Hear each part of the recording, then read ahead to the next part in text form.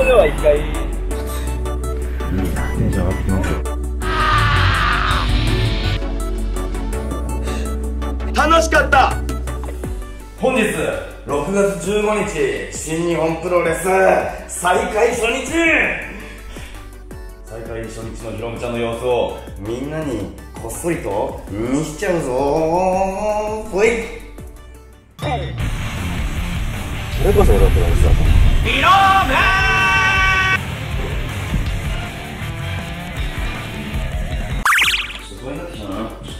荷物チェックしていいですか？あこれ新しいコスチュームこれ。あもうこれ見てる人は多分知ってると思いますけど。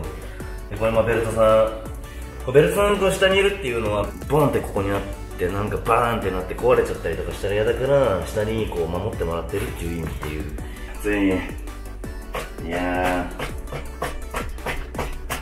複雑ですね。いやー緊張する。楽しみ。なんかメキシコでは一回、無観客じゃなくて、世界の会場でお客さん入れてて、俺たちメインだったんだけど、ホールが降ってきて、お客さんが全員いなくなって、実質無観客で試合やったっていう経験ならありますけど、ワンちゃんたちがもうキャッキャッキャ走り回ってる中試合をするっていう。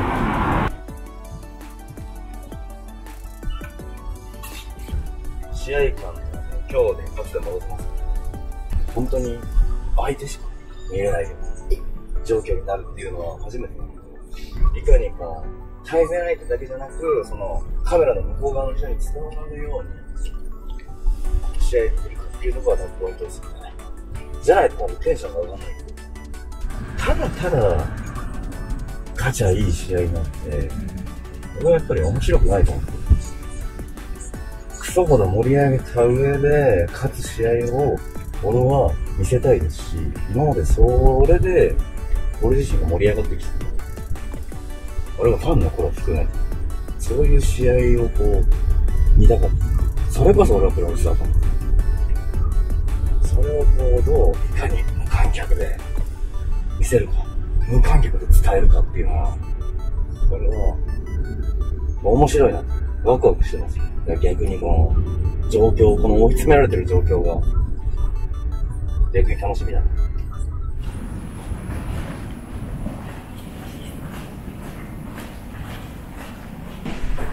ープン。あ、おおお疲れ様ですかすごい。緊張してきた。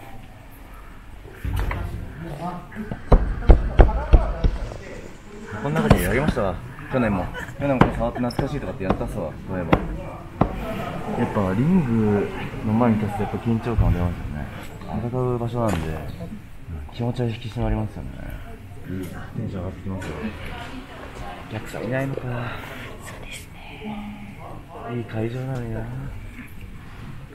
やるんだと普通に戦うんだっていう気になってますよ。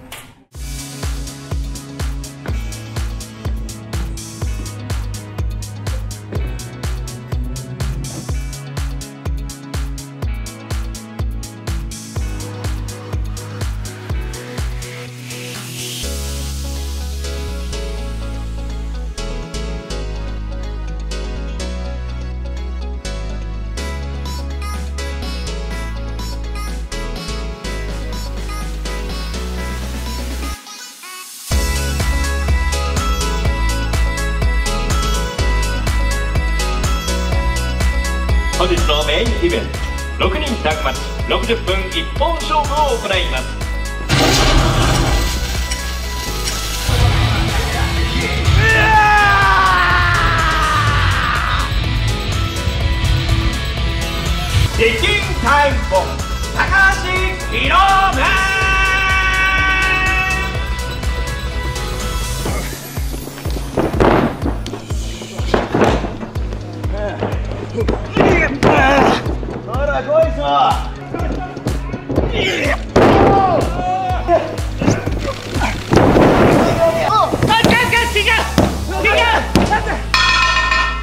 プロレスってこんなにも面白くてこんなに快感なんだ、あ、思い出した。思い出したよ。あプロレス面白すぎる。最高。楽しかった。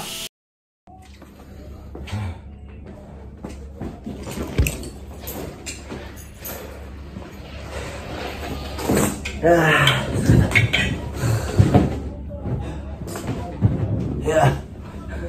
楽しすぎた。一日目終わって楽しかった。次はニュージャパンカップ1回戦、本間智明。絶対楽しいな。ああ、最高だ。楽しすぎた。ああ、ああ、楽しいな。ああこんな楽しいなんて久しぶりだ。いや、楽しい。疲れた。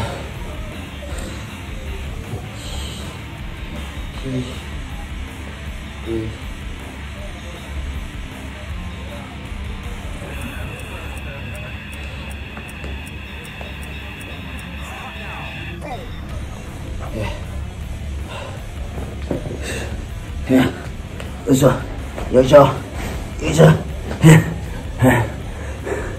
これで、新日本プロレス再開1日目終わり。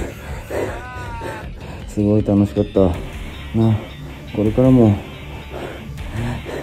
また楽しい方が待ってると思うとザクザクするよ。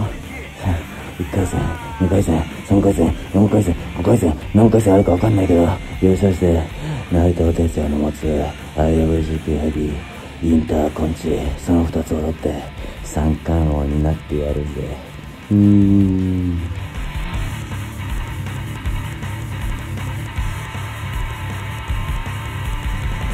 ああ